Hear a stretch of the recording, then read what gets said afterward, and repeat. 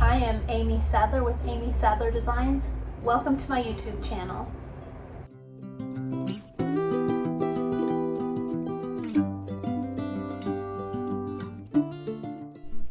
I'm so glad you're here. This is my first YouTube video, so let me know what you think in the comments. Here I have gotten some travertine and some white and cream ceramic tiles at the Habitat for Humanity Restore. And these tiles are about 15 to 25 cents each. Um, what you see me using there is dishwasher safe Mod Podge. And the reason I'm using dishwasher safe is because I am going to be using these as trivets. Not that I will be putting them in the dishwasher, but I will be wiping them off from time to time, I'm sure, as I'll use them in my kitchen. The strawberry pattern there, that's for my daughter-in-law. She loves um, strawberry vintage um, ceramics in her kitchen, so I'm going to make those for her. And then I have tons of napkins. So I am trying to decide which ones I want to use on which tiles. And I knew the little birdhouse was adorable. I love the little rabbit, but I'm not quite sure on the rest. So definitely going to go with the strawberries for Kennedy. By the way, I have all of these napkins because of Miss Tracy Creates. Um, and her napkin club is so much fun. She sends napkins in the mail every month, and it's an amazing club to be in. So, there you saw me taking the two ply um, off of the back of the three ply napkin, and then I am cutting the napkin. It comes in four squares, which happen to be exactly the size of my tiles. So, my six by six napkins fit perfect on my six by six tiles. And I had to pour the Mod Podge out on a plate because uh, my, my brush didn't fit down in.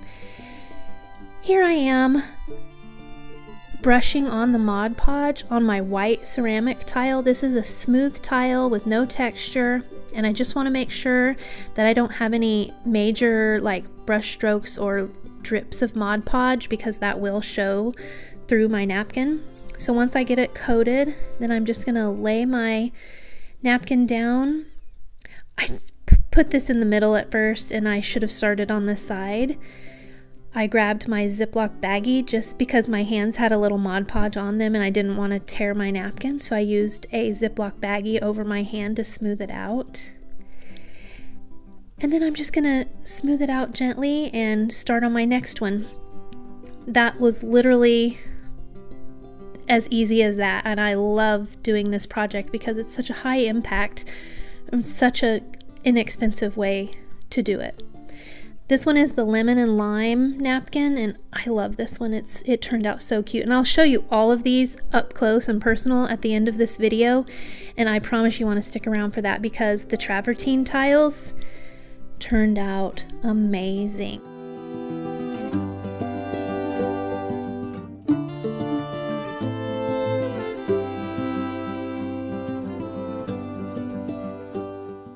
Here you just see me fussing with the napkin to get it as smooth as possible. However, it was really smooth. I just fuss and I need to stop. I don't know if you can relate to that or not. It was perfect, but I kept fussing. I didn't hurt it though, thank goodness. Okay, this travertine one. It is so cute. Both of the travertine are my favorite. I'm gonna go back and probably buy the rest of the travertine tiles that they had at the Habitat store restore because they turned out so cute and I want to make one for everybody I know. I have so many napkins and I'm super excited. I'm super excited about it. I just love how they turned out. I can't wait for you to see it at the end. Um, this little birdhouse, I'm going to show you right here how I, if you just have sticky fingers, you can lick them, which I don't like to lick my fingers. I worked in banking for a long time and then I painted, so I don't like to lick my fingers. But I had a little Mod Podge, so I just pop it like that and my plies will come apart and I can tear my napkins apart really easily. So now I'm just doing the second one and I decided to do, instead of doing the little bunny, which I'll do the bunny next time, um, I decided to do this really sweet French bicycle with flowers it's probably it might be one of the favorite things I've ever made and I've made a lot of stuff but I love it so much so Super cute. What you see me doing here, I want you to be sure, if you do a travertine tile, I went back over the top while my napkin was just placed and the Mod Podge was still wet. On both of these, the Mod Podge is still wet and I went and I pounced my Mod Podge on the top to make sure that the napkin pressed down into the texture of the travertine tile and it turned out really good. I know I keep saying that, but I really like it. So that was the the, the French floral one. This is um, when my Mod Podge was dry after about an hour, I came back in with my zippy sander and I just sand the edges to get any excess, any napkin that was overlapped. Um, it just sands right off and the edges are perfect when you do it this way. I barely had any hanging over because my, my napkin and tile were the same size, but there was a little bit. But it just smoothed out perfectly with my little zippy sander and very little effort. So, oh, so cute. Oh my goodness. So, oh, okay. I know I'm getting excited, but I used Holy Moley from Amy Howard at Home. That's the color here on my little ducky chickadee chick chick that I got at the Dollar Tree. I I thought I was thinking Dollar General, but I got it at the Dollar Tree. Wanted to give them a coat of yellow because little chicks are yellow and they're so sweet. So it's just the plain, um, it had kind of little wood texture on it. So I'm just painting on that side. I let my paint dry and then I'm adding Titebond wood glue. I'm teaching you a very fun way for a chippy paint finish. I love this method. I use it all the time. You're going to love it too. You can do this with multiple colors. For this particular project, I'm doing a coat of yellow, a coat of Titebond, and another coat of the same yellow. But wait until the end when you see the up close of this paint technique. It is so cool. And the next video, I'm going to do a multicolor um, project with this paint technique so you can see. So there it is. My, my um, Titebond had dried. I put another coat of Holy Moley on. Now my Holy Moley is dry. I'm coming back with a scraper and at a 45 degree angle, I'm just scraping that paint. I'm not giving it a ton of pressure, but I want to make sure that I'm scraping it off. Um, anywhere that Titebond um, was high or um, had any texture at all, this will chip it off rather than when you get a when you sand see the chips there? So when you sand you get a really smooth finish. Oh i have a little helper. She was coming to help me. She's so sweet. That's my daughter gigi so anyway this is a great way to get a chipped finish that looks really really old and that was just a wire brush I was using to smooth it all out rather than sandpaper. So you can see there the texture and the chippiness. So the next video look out for, I'll do a multicolor of this particular finish. I love it. That's some yellow, or some yellow, some orange ribbon from the Dollar Tree.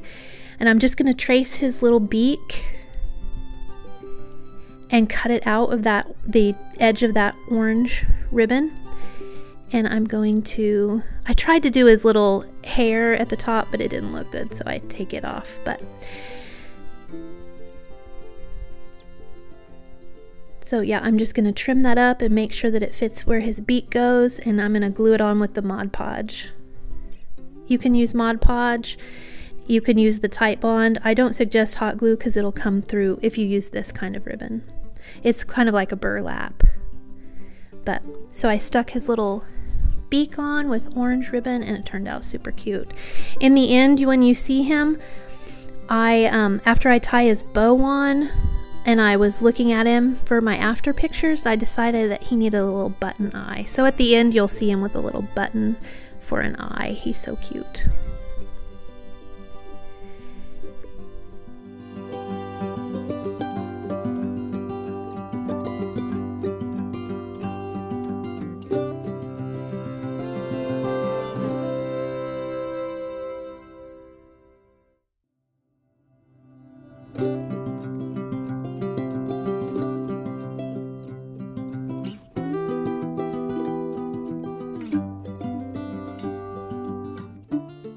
he is so cute. Yeah, I was fussing with the bow again, but you know. Yeah, there I put his I put I just hot glued a little button eye on him. Look at that chippy finish. I'm going to sit him up at the end and show you up close. Okay. I'm going to show you another fun paint technique here using the extra plies of the napkins that we took apart earlier. So the first thing I'm going to do, I got this little, um, this is from the Dollar Tree, just a little sign with the um, black and white buffalo check. And it has a little wooden frame. I thought it was so cute, but I was going to just fix it up a little bit, just take it up a notch. So I painted one coat of the Holy Moley, and while the Holy Moley is still wet, while my paint is still wet, I'm going to crumple up one of the plies from that napkin that we discarded earlier and place it in my wet paint. And then while it's still wet immediately, I'm going to paint it with the same color. I'm just creating texture here, and it's a super fun way to add texture to a flat surface. So if you're ever thinking you're making a sign and you think it just needs a little something, just lay a little tissue paper down or an extra ply from your napkin. It there I'm just tearing off where the wet edge is um, the napkin just tears right away exactly where it's supposed to. So I just paint up to the edge of the little square and the napkin just comes apart really easily and tears away. And then I'm just going to go around the edge just to make sure that all of my napkin is wet and laying down with the paint. And see, there you have some texture. So it's as easy as that. And this little bunny I got, I did get at Dollar General. He was $1. And that is an adorable gingham, orange gingham tea towel that I got last year at Hobby Lobby and I am going to use it for another project. So I'm going to cut, I'm going to trace my bunny and cut him out of this orange gingham. And then I'm going to use Mod Podge to apply it, the fabric to my bunny.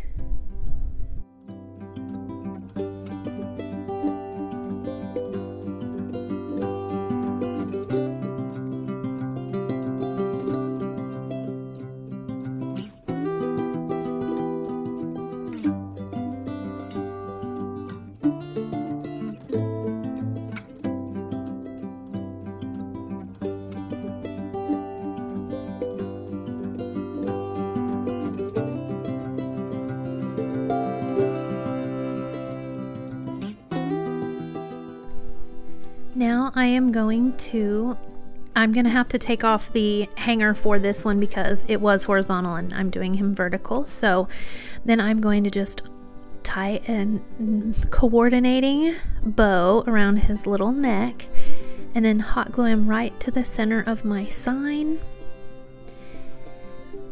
And then he and our little chickadee match. They're best friends.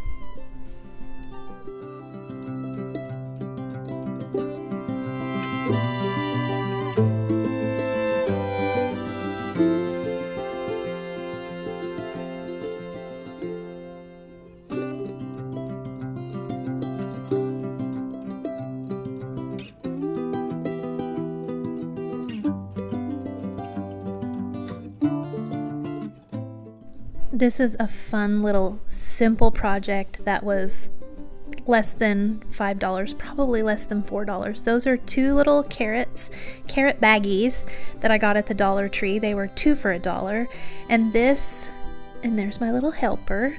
This is a wood plank from Walmart that's it was $1.97 at the time that I bought it. I'm not sure if they've gone up at all, but it was less than $2 when I bought it. Just a wood plank. I'm taking out the um, staples from the back that were holding on the twine.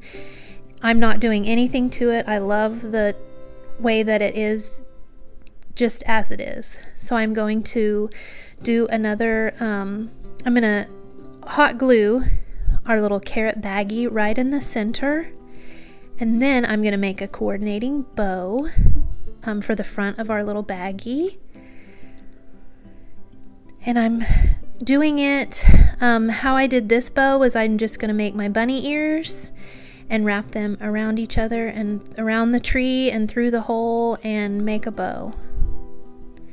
So, and then I'm going to fuss with it because that's what I do.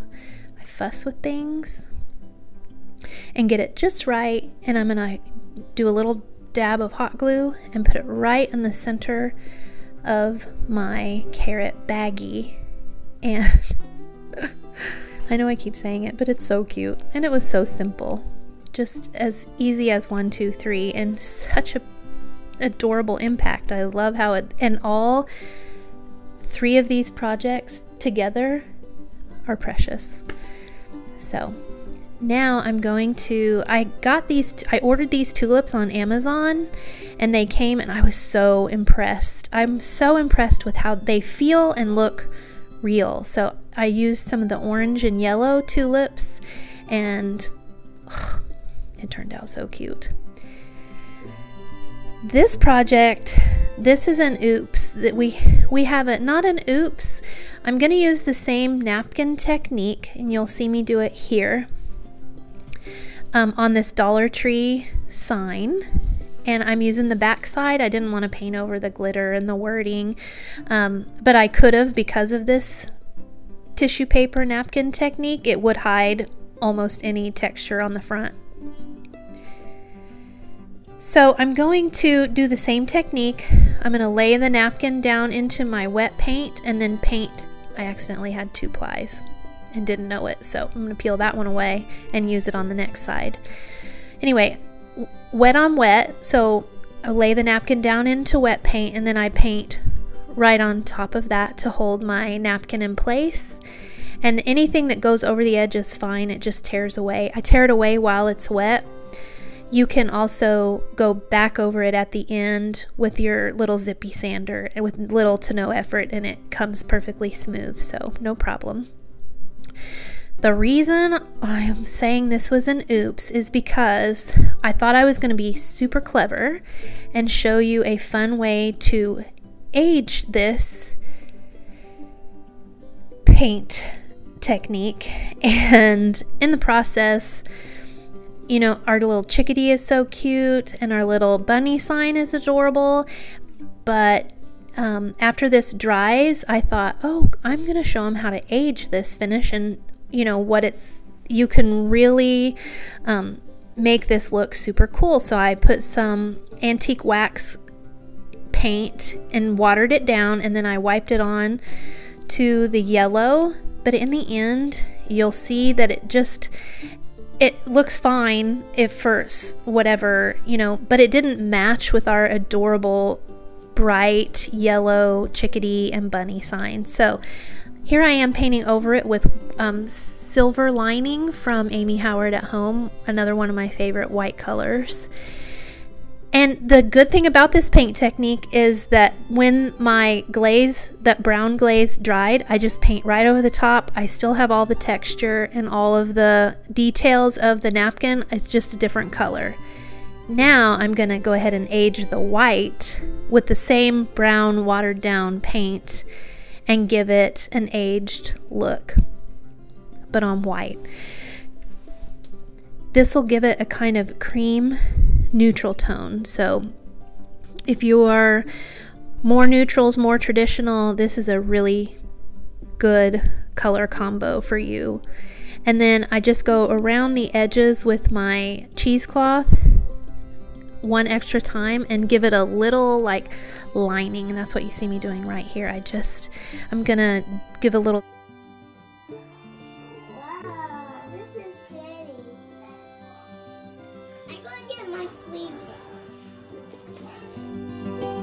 clearly Gigi approves, and yes, she pulled her sleeves up and she helped me.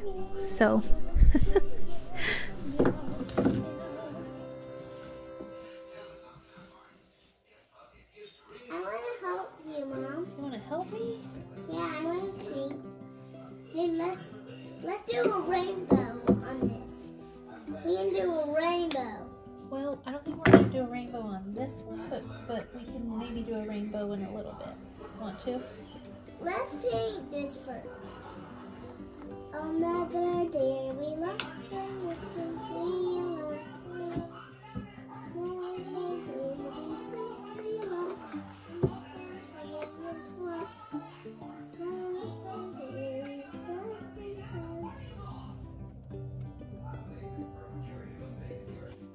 How sweet is she? and yes, we had Andy Griffith on in the background, and it wasn't as loud as it seemed in that little section there, but. So the lavender is 97 cents a bush at, or a bundle, or yeah, bush at Walmart. That's where I got that. And then I just had some of the taupe gingham ribbon and a taupe satin ribbon that I tied around one sprig of that lavender and I just tied it in a knot and I hot I put a dab of hot glue to hold the lavender and I also put a dab of hot glue on the back to hold uh, to hold the lavender in place and then I just felt like it needed something else so I thought it would be cute if I made it like a little pocket and added the gingham ribbon over the front and I love the way it turned out.